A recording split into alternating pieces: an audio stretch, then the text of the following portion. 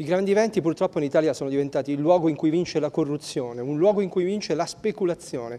Da tempo noi Verdi diciamo con grande chiarezza che l'Expo di Milano non doveva essere quello che è oggi, vale a dire una grande cementificazione dei terreni agricoli. Ecco perché noi chiediamo che si ritorni al principio originario.